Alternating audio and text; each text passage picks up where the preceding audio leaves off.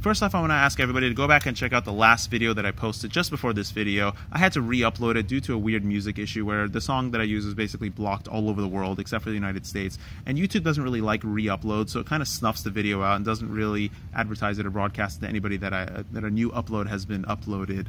So um, I had a lot of fun making that video, and I thought it was a particularly fun video to watch. So I'd appreciate just feedback on that video because I really enjoyed making it. And now I want to present to you the new DAL T5040C. And uh, they love their numbering schemes.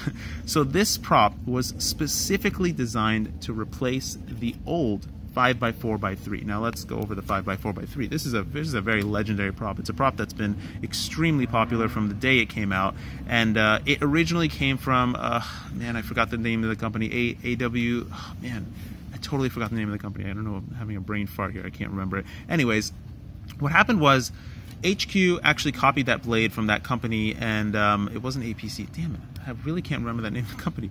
HQ copied the blade from that company, and then I think Chad asked them to make it in a tri blade, and that's where this prop originally came from. Now, when it became super popular, uh, DAL, RaceKraft, um, Gemfan, and I'm sure two or three King Kong and somebody else copied the blade because it was so darn darn popular.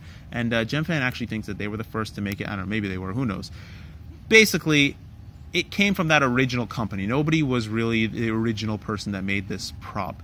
And ever since they came out, it's kind of held the crown as one of the best acrobatic props.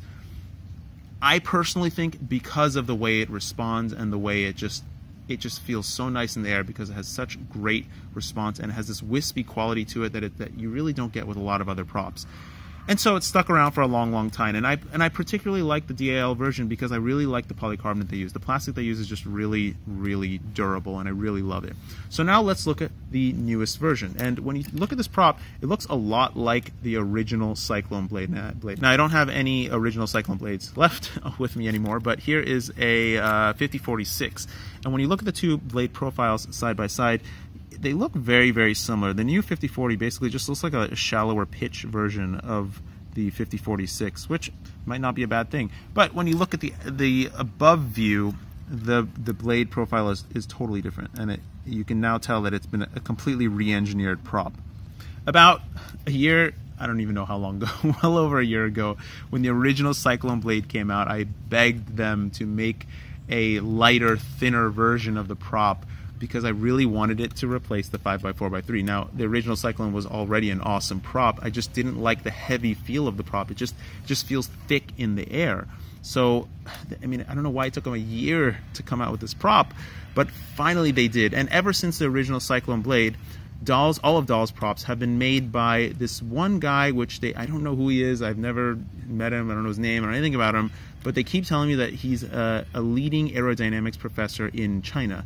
And I mean, he really knows what he's doing because he's made one of the most successful blades or lines of blades in the industry. The Cyclone blade sells hundreds of thousands of sets. That means sets of four each month. Hundreds of thousands worldwide. That's a pretty astonishing number. I don't think there's a single other prop company that sells that many props. You know, kudos to DAL for doing it. They designed it specifically to replace the 5x4x3, and I think that it is the first prop that has a chance replacing the 5x4x3, or at least having it be an alternate prop. Now, since they were made to, it was made to replace it, it makes logical sense to compare the two. So let's just really quickly compare the two.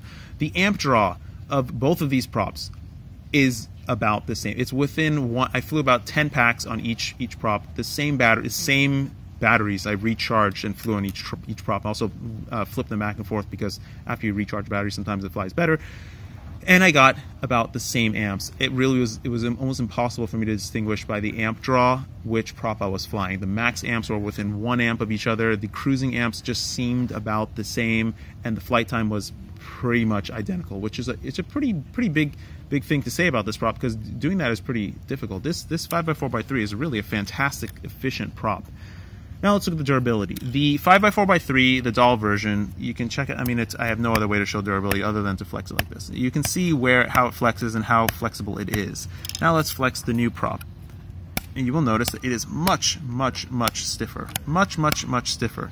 So it's they're both using the same plastic, and basically the blade has more plastic in this section. So I would assume I haven't crashed them yet, but I would assume that the DAL, the new version is going to be significantly more durable, if, if, if not at least the same durability. The weight of both of these props is exactly the same 3.9 grams. Maybe the new version is like 10 5 thousandths of a gram heavier and uh, that's that was what I got when I weighed a whole bunch of them divided by by the number of props. And uh, I don't know how they made it feel at least stiffer and more durable using what seems like the same plastic just with a different design and now let's get to the actual differences of these two props First and foremost, the throttle, the throttle response and the throttle control of the new prop is much more linear than the previous 5x4x3. Now the 5x4x3 is a fantastic prop, but it, it is not a particularly well balanced prop in terms of throttle range and just control range in general. It gives you a, a significant burst of power down low in the low to mid low section of the throttle range, and then when you start getting past like mid throttle, it kind of tapers off a lot. And uh, what the new version does, the new DAL prop does, it gives you a similar kind of burst of power down low, but the major band of power is more around the midsection and it's a wider band of power. And that's very important for the next difference between these two props. In addition to that, I feel like the new version is might be just a tad fa faster, and they're supposed to have the same pitch. It's hard to distinguish which one's actually faster just through FPV, but they feel about the same. So now let's get to the actual difference. Because of the throttle range difference between these two props and the new prop having a much more even throttle range in the midsection, I believe that has resulted in a much more accurate control in the mid stick throw section. Like, not like just the middle areas where you're balancing the stick not in the center or not all the way deflected. In the mid deflection range I have far more control with the new prop. And that is the honestly that's that's really the biggest difference. That that is the number one difference that I felt between these two props so everything else aside nothing else matters that is one reason why I think that this prop may actually replace the old HQ, the, not the HQ, the old 5x4x3 design. In addition to that, when I went back and put the 5x4x3, the old previous version, which this has been the prop that I fly, prim- like I fly this prop 9.9 out of 10 times. I am I pretty much always have this prop in my bag and I have it on my quads. After flying two packs on this new prop and then going back to the old prop, I felt like the old prop was was a raspy mess. I felt like the tune was totally off. I felt like I had no control. Throttle was was unpredictable. The midsection of the stick was really unpredictable. The quad would just rotate and do weird weird actions when I didn't intend for it to do those actions. I was really in shock. I was I was shocked at how different I different it felt after flying this new prop. So I'm kind of exaggerating. I mean, it sounds like I'm exaggerating, but in my head, it's not an exaggeration. So it might sound like an exaggeration, and I'm not trying to particularly hype this prop.